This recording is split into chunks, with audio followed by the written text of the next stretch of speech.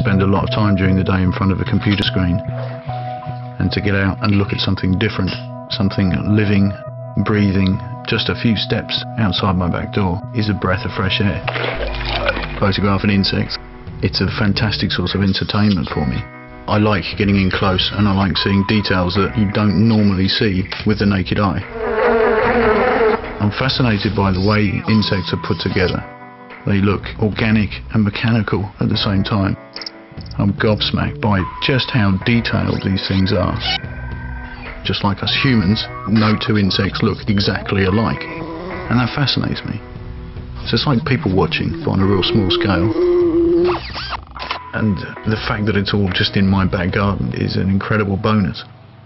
The Shot, in association with the Canon EOS 400D. Welcome to the playground.